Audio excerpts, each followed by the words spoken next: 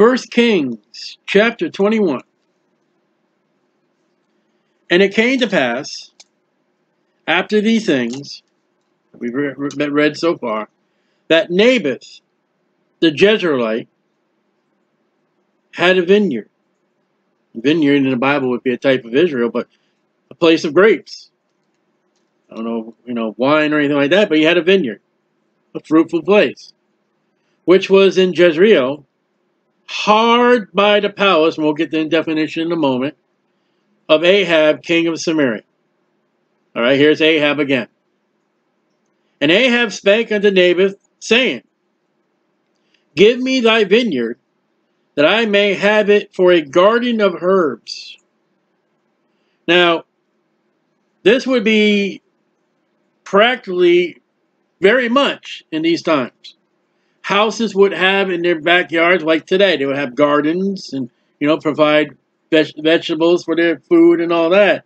But it was also to be a note. Now, the Bible doesn't say, but it's also a note that Ahab's already made allegiance with Syria, Ben Hadad, who was an enemy of God, enemy of Israel. It was customary in Syria to have such lavish herb gardens.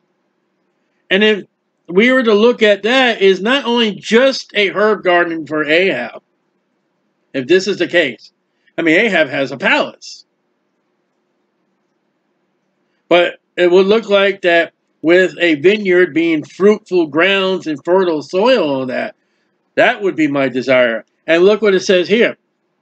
Because it is near unto my house. In verse 1 it says, hard by the palace. Verse 2 gives you the, the definition. It's right next door to Ahaz's palace.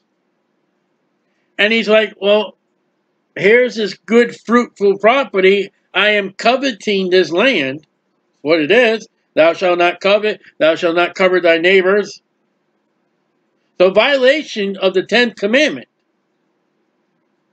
Now, whether he's doing it because he likes herbs, whether he's doing it because this is a Syrian way, I cannot tell. But it was an interest to see that Syrians would go fully out. Not just to have a herb garden, but to have a herb garden. Herbs. Because it's near to my house. So sometimes, many times, the Bible will give you its own definition. Now, this is a close one. Now, the Bible says, Study to show thyself approved unto God, a workman that needs not to be ashamed, but rightly dividing the word of truth. Sometimes you'll find the answer in Samuel in Kings. Sometimes you may find it in Chronicles. Samuel, Kings, and Chronicles, if you were to study that, that will give you sometimes definition, like Matthew, Mark, Luke, and John. You got to read the entire Bible to get an answer. And I will give thee for a better vineyard than it. All right, so Ahab is not walking up to Naboth and eminent domain. It's not, he's taking it by force. He said, listen, I want your vineyard. I'll offer you a better vineyard. Well, why didn't he take that vineyard that is better? And if it's better than the vineyard that Naboth had, well, boy, you can grow herbs. Well, it's closer, I guess. But I'll give you a better vineyard than it. Or, if it seem good unto thee, I will give thee the worth of it in money. I'll give you money. Worth of it. Now, eminent domain is we'll give you half the value of your property and we're going to take it by force. There's no yes or no. We're going to take it. Ahab's like, hey, listen, I'll give you a better vineyard or I'll give you the price of the field. It's a free will. He's not going to go in with troops. He's not going to go in there with the army. He's not going to go in there with lawyers. And Naboth said to Ahab, The Lord forbid me. Capital L, capital O, capital R, capital D, the law. That I should give the inheritance of my fathers unto thee. Now, Leviticus 25, 23, a couple places here. Leviticus 25, 23. Naboth is completely 100% right. Ahab's wrong. Already we've seen Ahab coveting. I mean, that's the first 10 laws that God gave the Israelites. And we get into Leviticus 25, 23.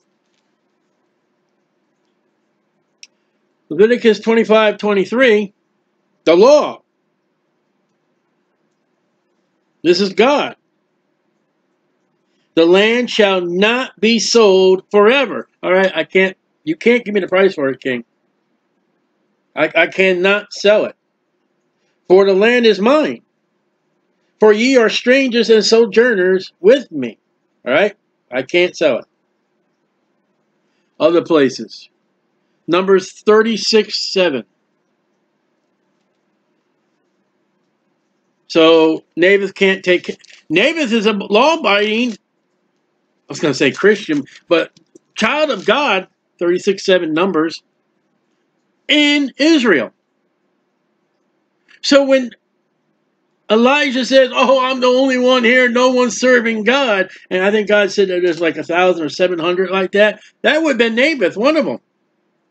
And if Naboth is obeying the law, as far as we see with the land, listen, this is not just, okay, I'm going to keep this commandment and keep that commandment and not going to do that one. The guy is face to face with the king that can cut off his head. The king has power unlike the presidents and the rulers of the nations today. There are nations still today, if you defile that king or that ruler, whatever that title would be, you're dead. You're in prison. There are places that if you were to go preach the gospel and the, and the country catch you, you're going to be sentenced. Naboth is standing before the king that can kill him. No constitution, no rights or anything like that. And he says the law. Well, I guarantee Naboth follows more than just one law. And Numbers 36, verse 7. So shall not the inheritance of the children of Israel, okay, here we go, remove from tribe to tribe. For every one of the children of Israel shall keep himself the inheritance of the tribe of his fathers. So Naboth, when he says, I should give the inheritance of my fathers unto you, he is quoting the law. Which would show you the fact that, I mean, he's not quoting verbatim. He don't have the copy of the scrolls in his house to read every day. But he knows the point of the law. And then, now, a part of the Bible that Ahab would not have, Ezekiel 46, 18. Now, this would not be for Ahab, but this is what God says. And this would be, in if it would be in the time, it's not, for Jezebel. But she's coming up. Ezekiel 46, 18. Again, the time that we're reading now is about 900 BC. Ezekiel's 574 BC. So Ahab, Naboth, Jezebel are long dead. But Bible with Bible 4618. Moreover, the prince shall not take the people's inheritance by oppression, to thrust them out of their possession. No eminent domain, but he shall give his sons inheritance out of his own possession, that my people be not scattered, every man from his possession. Now that's in the millennium. That would be David. David in the millennium can't go up and say, hey, I like that, like Ahab done. I'm, you know, it's mine. You know, David did that with, with a man's wife. Hey, I like her. Go get her. Hmm. So there it is. We also have a couple passages in the Bible where Ahab would have a copy. The Proverbs of Solomon. Solomon's been long dead. The, the one of the kings hasn't come up for the for the copying of the Proverbs, but you would think that we get out. And it says Proverbs 22, 28. Remove not the ancient landmark which thy fathers have set. Now, he may not have had this, or he may have had it. I forget which kings copied from Solomon's. And then Proverbs 23, verse 10 Remove not the old landmark and enter not into the fields of the fatherless. So the Bible does command, the Bible does set forth that property of Naboth. 1 Kings 21, that's Naboth. that would be Naboth's sons, if not his sisters. I mean, his daughters. And we were have no sons and daughters. The Bible had prescribed that it would go to the nearest next family kin of that tribe. So Ahab is asking out of order, but he's not forcing. There's a free will. And Naboth has come back and said, hey, listen, the law forbids me. And Ahab came into his house heavy. Poor baby. Really poor baby. Look at chapter 20, verse 43. After the prophets come to him. Chapter 20, verse 43. And the king of Israel went to his house heavy and displeased. So this is an action that when Ahab does not get his way, he starts going, uh, he goes into a big bad mood, depression kind of, I'm, oh, woe, woe is me, I didn't get my way, suck my thumb and wet my pants. It's not a very good character to be if you're like that when you're following Ahab. He should have, okay, Naboth, I understand. Thank you very much for reminding me. I understand where you're coming from. I thought I'd just ask. That's in the deal. No more. Done with it. Not going to bother you, Naboth. But Ahab came into his house heavy and displeased. Because of the word of Naboth the Jezreelite has spoken to him. For he has said, now watch this. This is a very verily.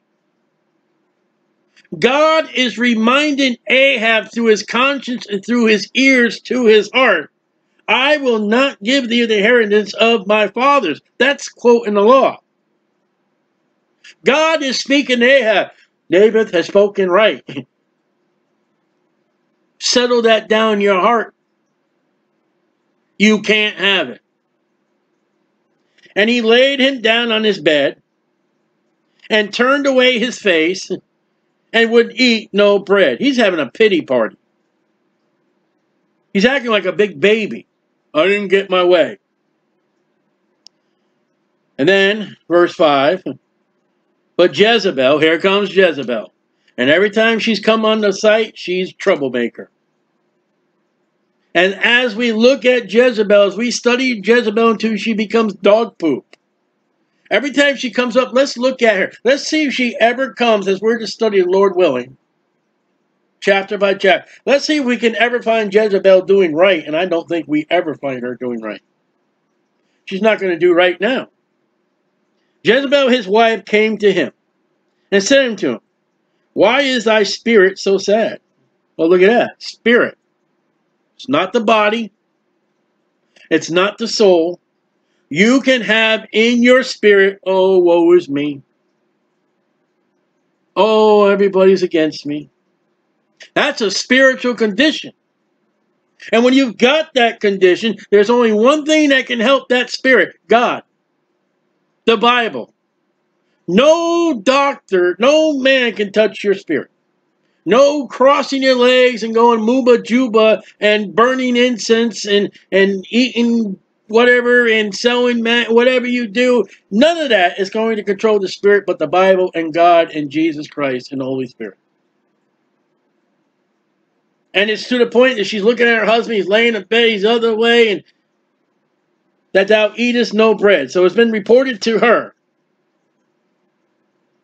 He's not eating. I'm not going to eat nothing.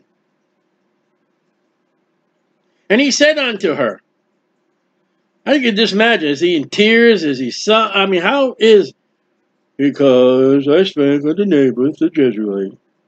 and he said unto me, Give me thy vineyard for money, or else, if it please thee, I will give thee another vineyard for it. And he answered me, I will not give thee my vineyard. That's a lie. Look at what Naboth said in verse 3.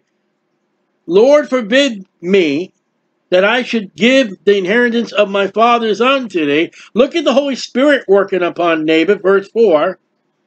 I will not give the inheritance of my fathers. Both of them are scripture. Honey, I will, I will not give it thee my vineyard. That's not what he said. Ahab has given us the modern version of what Naboth has said. What? Now there's going to be trouble following. What if they have had told Honey Bunch, Queenie Weenie, the law says I can't have it. I just get out of this bed and go eat, go have something to eat. Because you know what? I'm being a fool. Which he is. And Jezebel, his wife, every time her name is mentioned, said unto him, Dost thou not govern? That's the first time that word shows up. Govern. The kingdom of Israel? Well, yes, you do. Arise, get off that bed, and eat bread. Stop it. And let thy heart be merry. If that, you know, he's sad contents. I will give thee the vineyard of Naboth the Jezreel. Uh, honey, didn't you just say, Does that thou govern? Are you not the ruler? Yeah, I am. I will take care for you. Ahab is a puppet king in the hands of Queen Jezebel. He goes home and says, Honey, your prophets of Baal are dead. Elijah did it. I'm going to kill that boy. I'm going to get him. God's do so much. And Ahab never says anything. I will go take care. I will get you that vineyard. And he never says anything. He is ruled by the wife. The Bible says the wife is, I mean, uh, the woman is not to usurp the authority over the man. She is. I know that's written many, many, many, many, many, many, many years later. So Ahab is a puppet under Jezebel. I will give thee the vineyard of Naboth the Jezreel. What gives you that right? You're not the governor. You're the queen. So she wrote letters. That's funny. That's the first time letters shows up in the Bible. It's a letter of death. You say, well, about David? That was a letter, I believe. This is letters. More than one. In Ahab's name. So there are some wives out there will sign their husband's name. Is it right? This is the first time a, a, a, wife has ever done it in the Bible, and the first wife that does it is Jezebel. Now you tell me. Now there's a law in the Bible the first time a word shows up, first time a, a, a situation shows up in the Bible. Let's read more. And sealed them with his seal. That's the first time seal shows up in the Bible. And what he would do is take an envelope, she would close it, and he would take a bead of wax, put it on, the, you know, the backside of the envelope, and he would take his ring and you would put it in that wax. It would leave the emblem of that ring. Sealing would be like, you know, you lick it, or if you peel that, that strip off and you close it up, and nobody can open it without knowing that the letter has been opened. But she seals it with the king's emblem. That's very important to when we come to these city people. There is no reason why they should doubt. No one should have this ring or this neck, whatever Ahab has for this seal. No one should have it but him. It ought to be on his finger or around his neck, not in Jezebel's hand. That's important when we come back to another night, Lord willing. And sent the letters unto the elders. So there was a postal service in the Old Testament. Benjamin Franklin did not come up with the first postal service. It has been in the Bible.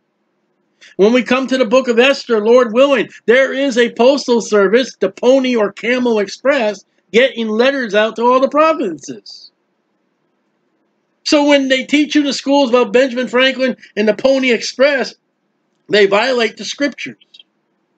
There have been letters going all through Genesis, Exodus, Leviticus, Numbers, Deuteronomy, So here we go. Sent the letters unto the elders and to the nobles that were in his city. That would be Je Je uh, Jezreel.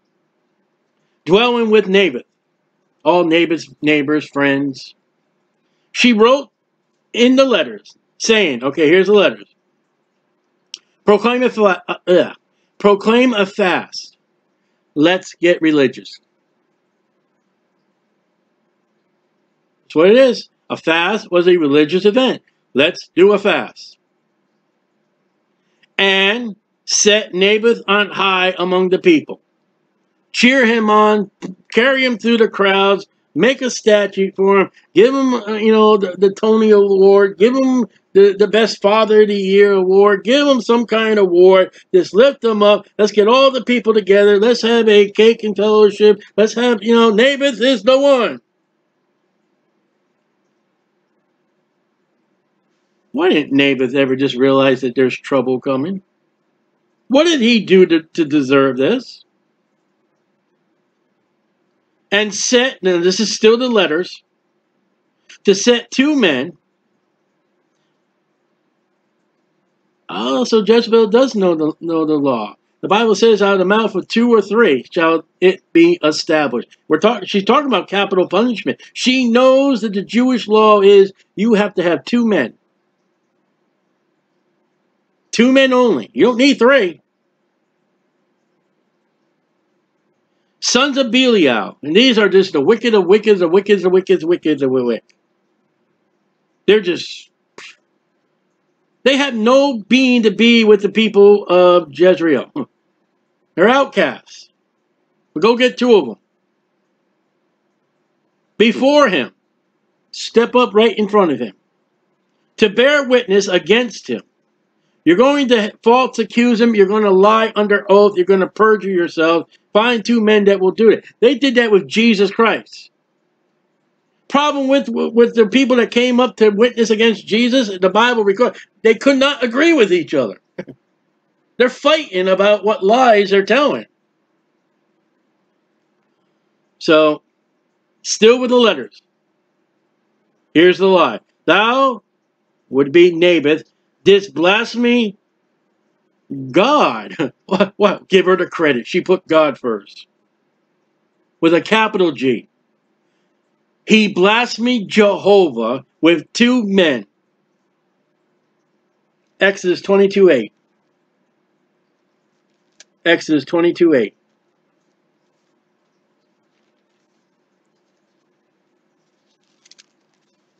Now, you couldn't say he blasphemed Baal. Why? And that don't look right. It's 22, 22, 28. Let's say, yeah, 22, 28. Why could not Baal work? Because evidently the people in Jezreel loved and honored God of the Bible. And if they were to come up and say, Naboth blasphemed Baal, they'd probably pat him on the back even more. All right. All right, good boy. Let's go serve God. It says in 28, Thou shalt not revile, scorn, or criticize the gods, nor curse the ruler of thy people. She's going to say, God and the king. Leviticus 24, 15. Leviticus 24, make sure 15. She knows a little law.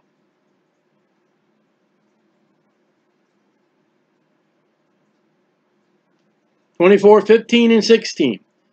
Thou shalt not speak unto the children of Israel, saying, Whosoever curseth his, capital G, God, there it is, shall bear his sin. And he that blasphemeth the name of the Lord, there is Jehovah, he shall surely be put to death. And all the congregation shall stone him, so there it is. There's Jezebel knowing the law to get rid of this, this, this man that's bothering her husband, and she says, G, capitalize God, according to Leviticus. And the king, Exodus. You know, I shall not revile the gods. Well, that was her God, Baal. Or the ruler of the people. So she took half that verse out of context and then took Leviticus 24, 15, and 16. So I got it together. We'll nail him on two charges. For definitely, now he will be stoned. Because if these people love God, Jehovah, that you couldn't say Baal, well, they're also going to say, hey, you can't as bad as our king is, as bad as a public leader is, as much as a bill in the office of the presidency and, and his wife is that, as bad as he is, hey, you still got to honor the king. And when you picked on the presidency of a man who was a puppet under his wife in the office of the White House, you are still under the charges the Bible says you're not supposed to mock, you're not supposed to ridicule, you're supposed to pray for your leader.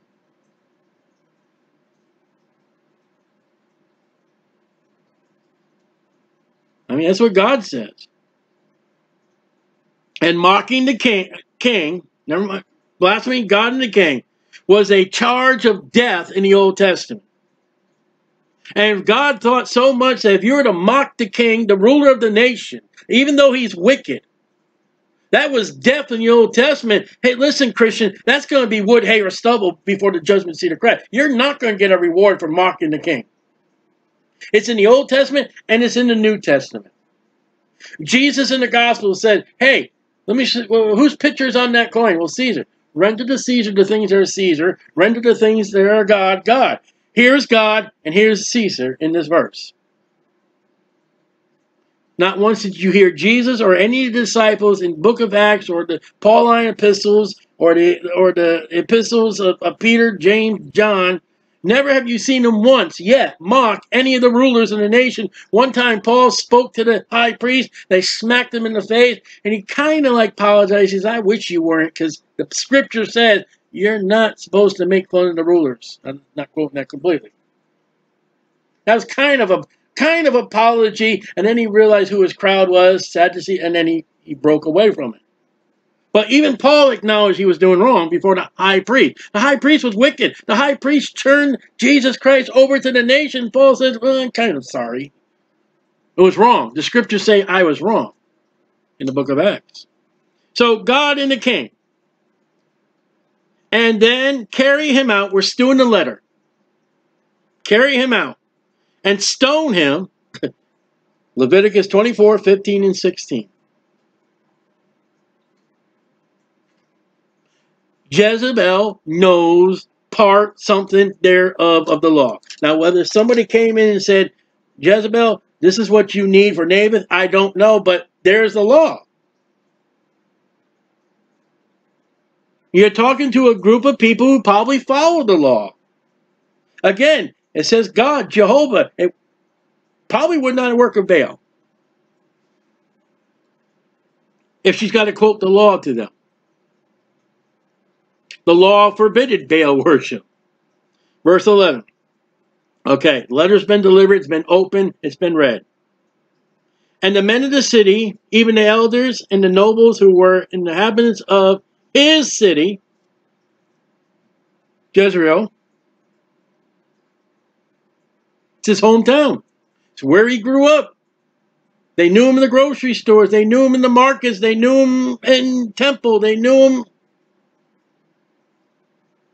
Walking up, hey Naboth, how you doing? Your children doing a little better? Heard they're sick. Oh, yeah, my wife's doing okay. Hey Naboth, that vineyard, can I get some grapes if I give you some wheat next week? Okay, thank you, Naboth. Appreciate it. Man, that Naboth, man, that guy's honest. Man, he gives you more grapes.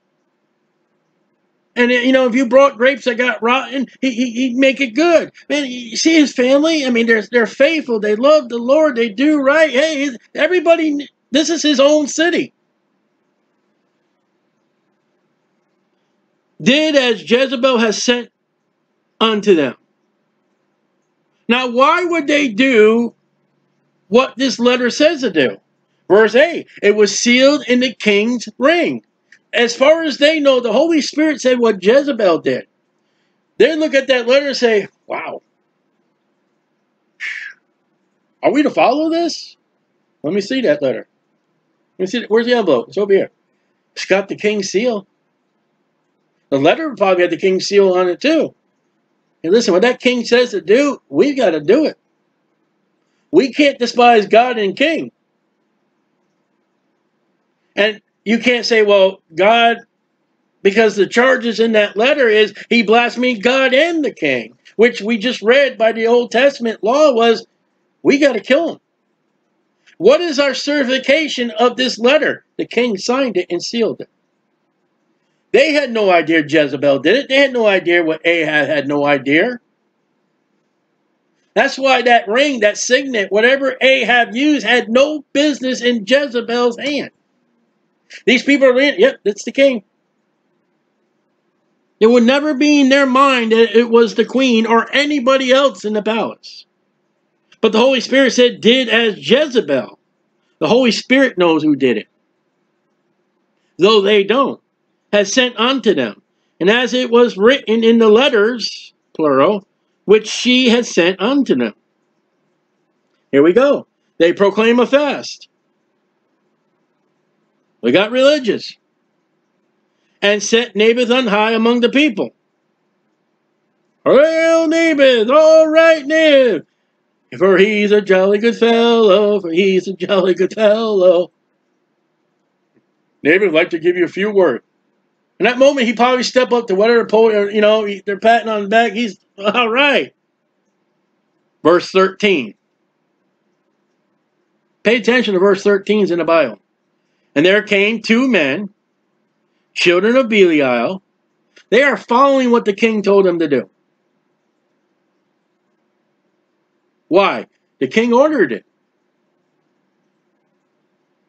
And sat down before him.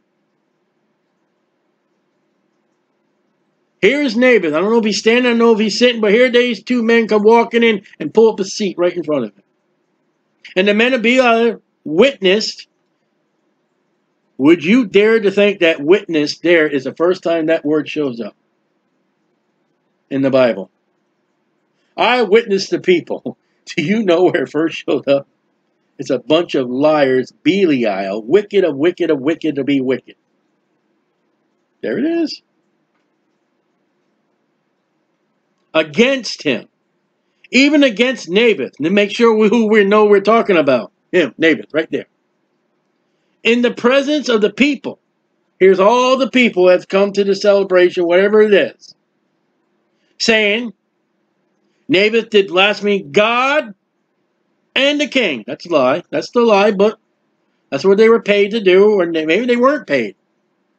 And they carried him forth out of the city and stoned him with stones.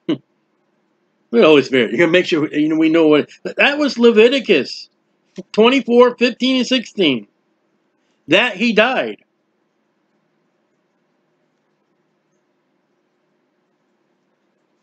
Second Kings 926. Second Kings 926. Let's see what we got here.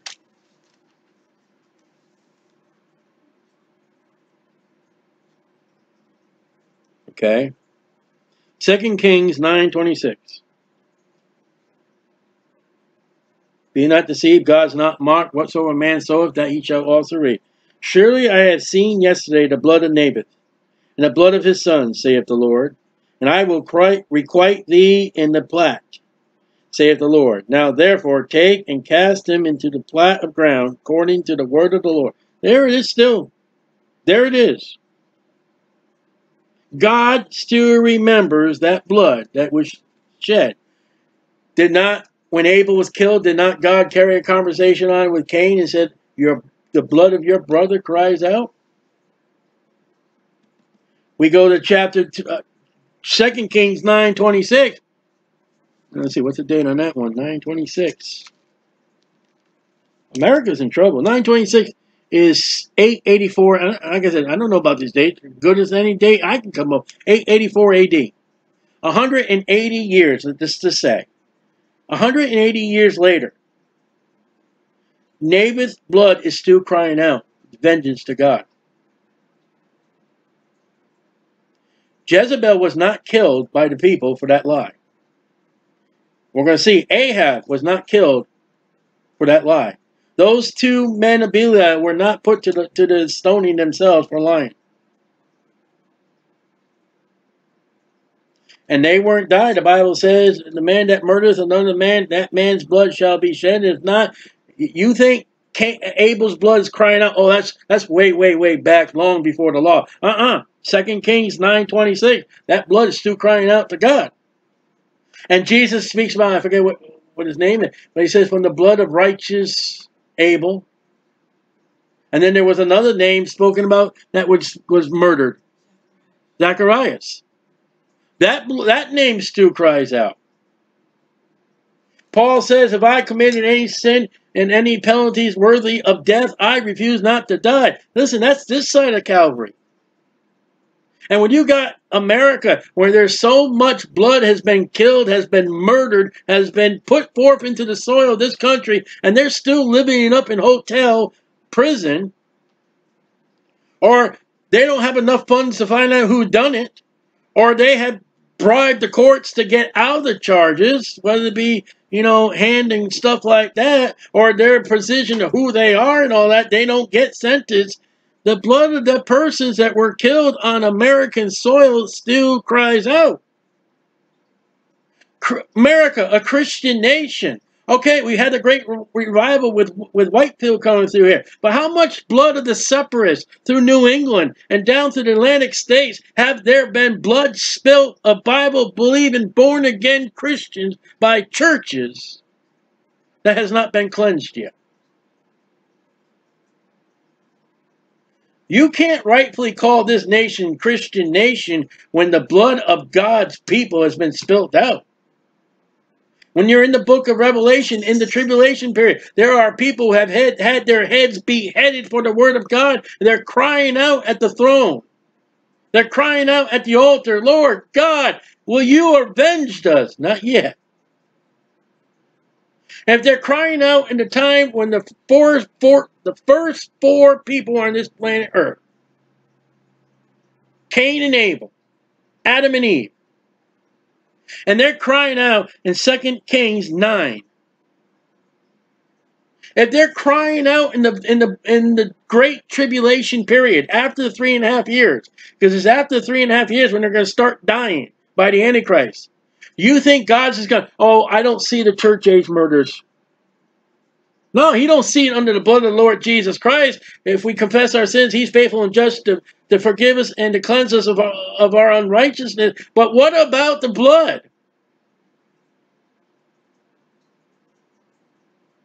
Germany's in trouble.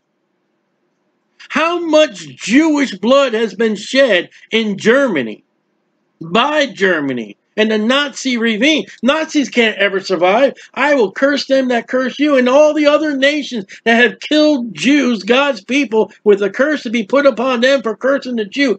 How much of their blood's being cried out? Verse 14. Then they sent to Jezebel, saying, Naboth is stoned and is dead. Man, that, you know that dead's really important there for Naboth. You imagine if they spent amount of time just stoning him and he just had to live with those pains, getting hit in the head, getting hit in all the bones, the knees and all that. After being stoned, you would wish you had been dead. He's dead. And it came to pass, when Jezebel heard that, Naboth was stoned and was dead. That Jezebel said to Ahab, Arise, take possession of the vineyard of Naboth, the Jezreelite, which he refused to give thee for money. Oh, they're not quoting, there's the law. For Naboth is not alive, but dead. He revealed dead was building his That's what I'm saying. Yeah. But and it came to pass when Ahab heard that Naboth was dead, that Ahab rose to go down to the vineyard of Naboth the Jezreelite to take possession. Well, how did he die? I was just talking to him the other day. I was just having a conversation about that guy about that land you're talking about, dear. How did he die? There was no interest. There was no care. And like Tracy said, it's supposed to go to the family. Numbers 2710. You would think he would ask. I, I, you know, don't you ever get astonished when you you just talk to somebody and you find out, wow, he died? Isn't it like, whoa, how he? And wouldn't that was usually the first question? How he? I just talking to him. Numbers twenty-seven ten. Now let's take for the fact because it's not recorded, but we don't know. Let's say Naboth had no sons or daughters. Maybe he was a single man. All right, we don't know. And if he had no brethren, then shall he, then ye shall give his inheritance unto his father's brother. And if fathers have no brethren, you shall give it. It stays in the family. I mean, with 10 and 11, and we're not going to read the rest of, rest of 11, but that 10 and 11 is like, you will find somebody in this family. Naboth's family has not been wiped off the planet, okay? And if it has, go down to Jerusalem say, to, get to the priest, say, hey, listen, this guy's family has been, I mean, going all the way back to going all the way back to Jacob, there's no more of his family left. We can't find it. And God would step in and say, okay, well, you know, this is what you need to do. But it don't go to the king. Deuteronomy 27, 17. Now, Deuteronomy is the second given the law. Deuteronomy is written not to the ones that came out of Egypt. They're dead. Deuteronomy is written to the ones that are going into the land. You are going to the land by Joshua. I am going to die, Moses. Here is the law of Deuteronomy when you get in that. That's why Deuteronomy is a little different from Exodus and Leviticus. Because they're actually going in. So Deuteronomy 27, 17. Cursed be he that removeth his neighbor's landmark. Did not First Kings 21 say, hard by the palace, near unto my house? Would that definitely not be in? Now listen, when the Bible speaks in the law about neighbor, that could have been somebody as far as Jerusalem, as far as Dan, as far as Beth. Listen, your brothers. Your brothers under Jacob, Isaac, and, and Abraham. But would that not definitely be a neighborly cause that, hey, your property is right near my property? And it's count of the law. Listen, Ahab is still under the law. Though Jezebel is a is a uh, Gentile and all that. Ahab is under the law, though he's Israel is separated. But though you got people who are following the law, Ahab's been cursed. Now let's look at Ahab, verse chapter twenty. He has made allegiance with the enemies of God and enemies of Israel. In verse chapter 20, verse 42. And he said to him, Thus saith the Lord, because thou, thou hast let go out of thy hand a man whom I appointed to utter destruction. Therefore thy life shall go for his life. Look, you're on the death market of God. And thy people for his people. All right, let's take the fact is you kept that guy alive, man. You're, you're death for him. And it came to pass. Now we get the story of Naboth. You have stolen, you have killed. We're going to look at that next time, Lord willing. You have killed a man, you have stolen his property, and according to Deuteronomy 27 17, you are double cursed. You're not going to find Ahab in heaven. And for all those people saying all people are going to heaven, I don't want to see Ahab and Jezebel in heaven. They're going to ruin it. Because what if I got to heaven I had property next to Ahab? Oh boy. So he has a double current. And everything in this section, 16 verses, we have seen the law. But the king and the queen don't see the law. She sees a law for the opportunity to get rid of. And we're going to pick this up next week. Um, next week. Next night, Lord willing. And we're going to find out, you know what? As far as husbands, you better be careful. You're going to be responsible for wives. And as far as if you did not do the deed, you you had part in someone's murder, you're in charge. You get the charge.